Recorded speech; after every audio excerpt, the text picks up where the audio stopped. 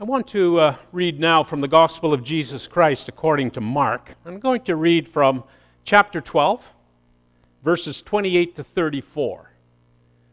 And this is a story that's commonly referred to as the widow's offering. If you'd like to read along in your Pew Bibles, you'll find this passage on page 67, 67 of the New Testament. It begins As he taught them, Jesus said, Watch out for the teachers of the law, who like to walk around in their long robes and be greeted with respect in the marketplace, who choose the reserved seats in the synagogues and the best places at feasts. They take advantage of widows and rob them of their homes and then make a show of saying long prayers, their punishment will be all the worse. As Jesus sat near the temple treasury, he watched the people as they dropped in their money. Many rich men dropped in a lot of money. Then a poor widow came along and dropped in two little copper coins worth about a penny. He called his disciples together and said to them, I tell you that this poor widow put more in the offering box than all the others. For the others put in what they had to spare of their riches, but she, poor as she is, put in all she had. She gave all she had to live on.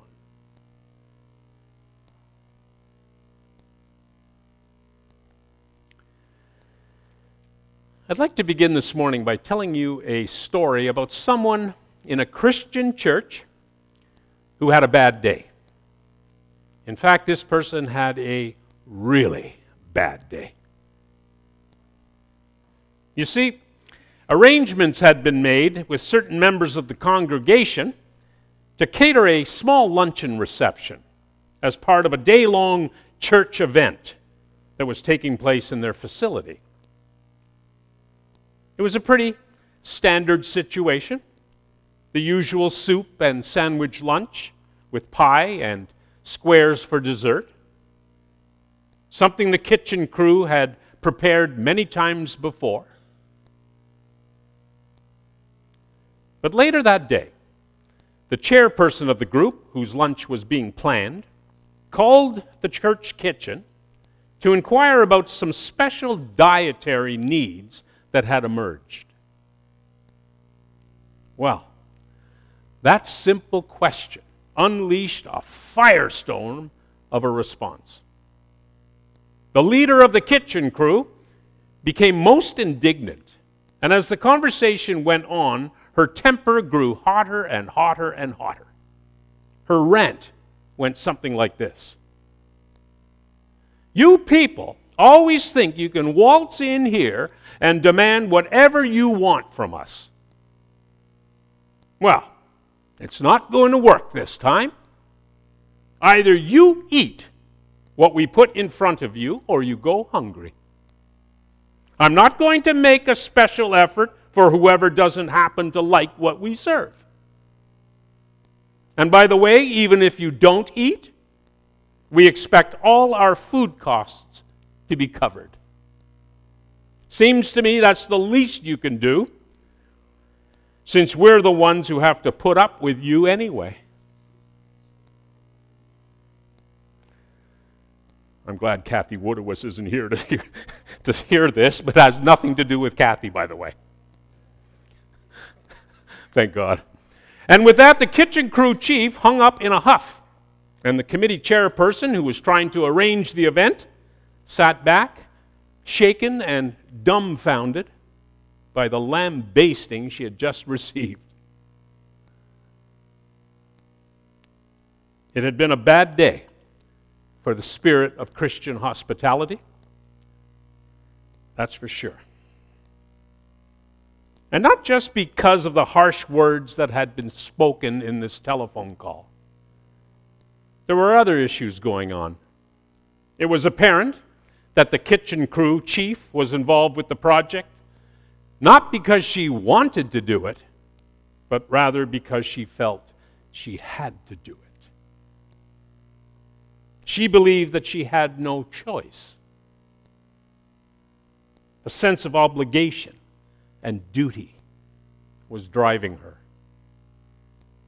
rather than any spirit of graciousness and welcome in Christ. After all, she probably thought, there's nobody else that will do this. Well, the meeting went off as planned, although I'm not sure who ate or who paid for what in the end. Turns out as well that the crew chief, who was so upset on the phone, is also the chair of the church's friendship club. As I said, is a very bad day all around. Now, I'm telling you this story because it's funny and it's ironic, but it's also very sad. It's sad because this story and others like it ring true for at least some of us here today. Many of us have had similar experiences with church folk who aren't enjoying themselves in the Christian community. Can any of you relate to this story? Do any of you have a similar story going on in your own life? The scripture story of the widow's offering that I read is often portrayed in ways that don't sound very appealing either. Because preachers, they often point to this story as somehow as God's call to every one of us to do more, eh? to serve more, to give more money, to give more of our time and our effort, and so on and so on. But the story of the widow's offering is a story we frequently read as a challenge to, to better live up to the demands of congregational life, doing our share, going the extra mile, bearing more of the load, and so forth. That's true. But this isn't how it's supposed to be in the church. It's not supposed to be like that. We're supposed to be a community of abundant love and grace in Christ. Demands and duties and obligations they may be the way if you're a hockey parent who's called to fundraise on behalf of the team. That could be true. Similarly, endless demands and thankless assignments may be the way things go in our workplaces. But there's supposed to be a different atmosphere here. In this in this organization we call our church. It's supposed to be different.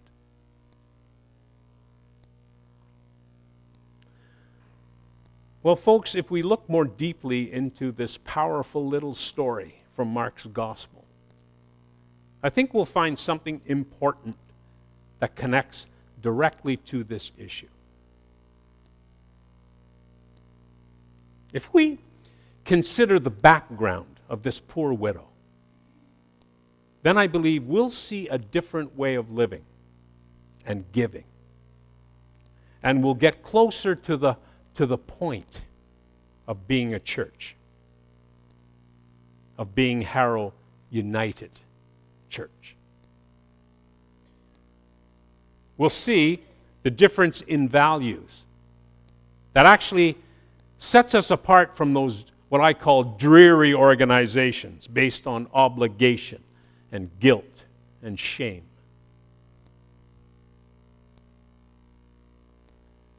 First, consider the life situation of a woman whose husband has died in Judea in Jesus' time. Judean Jewish society at that time was a patriarchal culture. All financial wealth, all social status, why, even your personal identity were attached to the male side of the equation. Sound familiar? You don't have to look far in our own cultural history to see similar things. People in ancient Judea were named and known by their father's identity. And inheritances were passed directly from father to son without any provision whatsoever for female heirs. Females, in fact, needed to be socially attached at all times to a male, either a father or a husband, even to go into the marketplace. To say nothing of having access to money or to social status. And the patriarchal nature of Judean society extended even beyond death.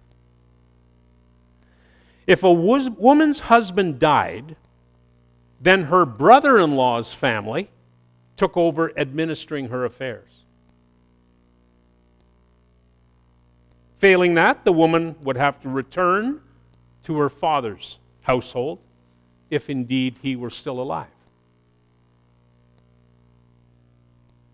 which makes it very significant that here in Mark's gospel, the woman at the temple is referred to explicitly as the widow.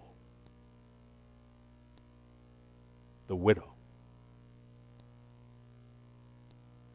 And because Jesus talks about this woman as a widow, we know two things. First, the woman's late husband has no extended family right? who could assume care for this woman after his passing.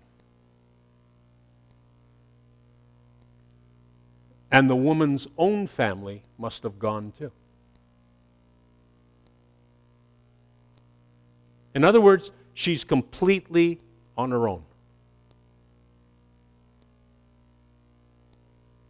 Secondly, the widow Jesus is talking about would be one of the poorest of the poor in Palestinian society.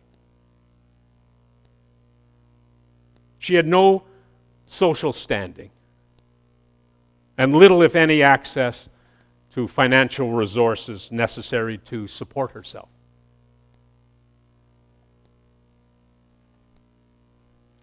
Are you getting a good picture of this poor woman? And yet, as Jesus says, she, out of her poverty, has put in everything she had, all she had to live on.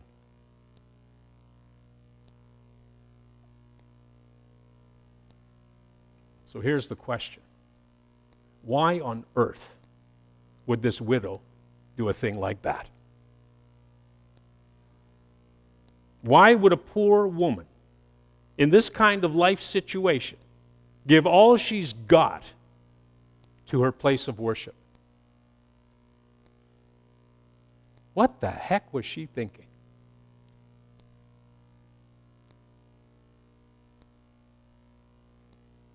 It's pretty clear to me that she wouldn't do such a thing merely out of a sense of duty or obligation.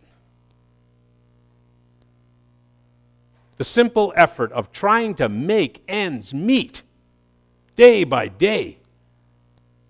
That would be hard. all encompassing work.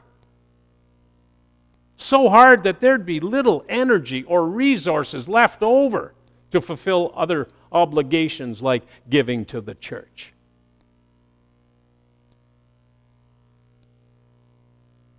Who, in that kind of circumstance, would have what it takes to give even more of yourself away? There must be something else going on here. Some other aspect of this woman's life experience that moved her to give all that she had. There must have been a bigger point to it all than merely a sense of religious obligation. It's not because of duty and social expectation that this widow gives all that she has. Nor is it because there's nobody else to do what needs to be done. That doesn't cut it. It's because somehow this poor woman, left on her own in the world, has experienced, I believe, the redeeming, the empowering, and the life transforming touch of the living God.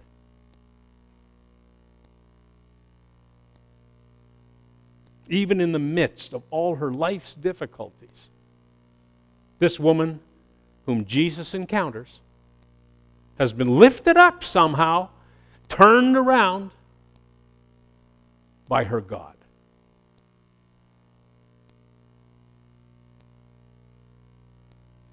And in heartfelt response, the poor widow gives all that she has. And that, friends, I believe, is the point of the story. That's why we're drawn here together in Christ as the congregation of Harrow United Church. That's why we're here. Celebrating and experiencing over and again the redemption, the strengthening, the transformation of hearts by the love of God. That's why we're here.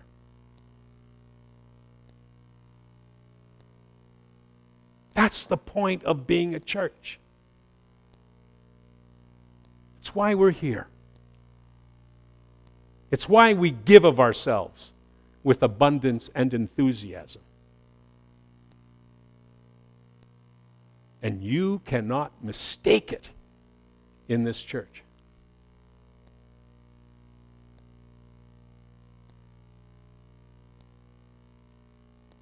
So this morning, I invite you to let go of all the shoulds and all the oughts about participating in a Christian congregation. I want you to just throw those aside.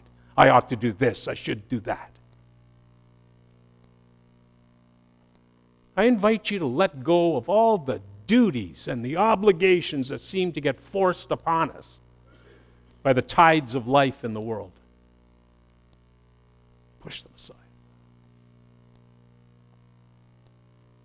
And let go of that sense that there's nobody else who'll do it, nobody else will step up to the plate.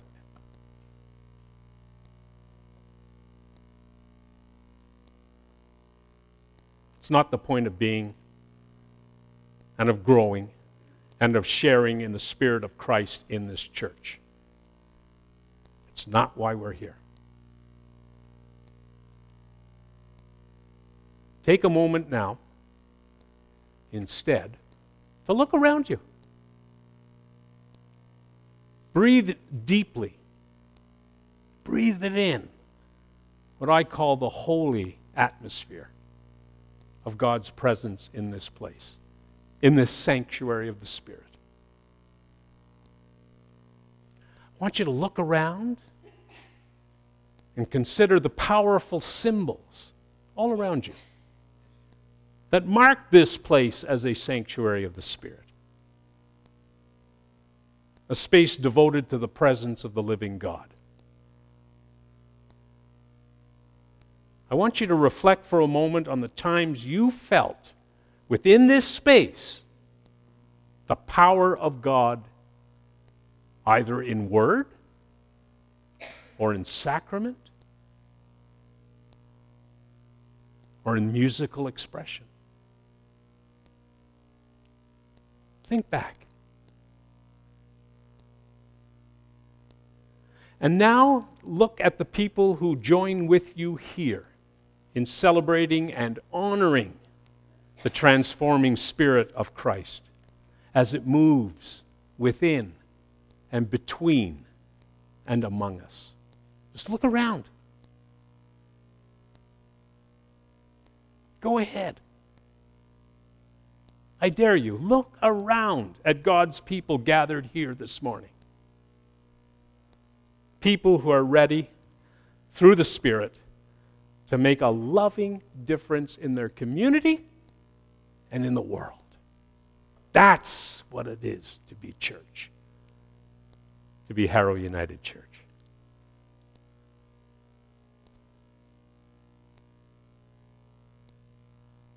And ask yourself what really is the point of giving, participating, sharing yourself and your abundance as part of this living community of Christ? I dare you, look around, breathe in deeply.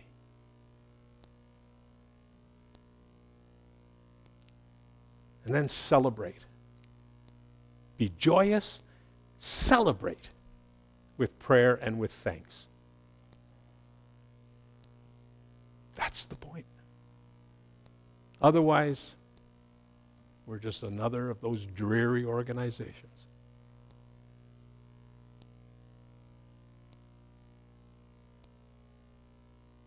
And I would hope that the people together said, Hymn number five.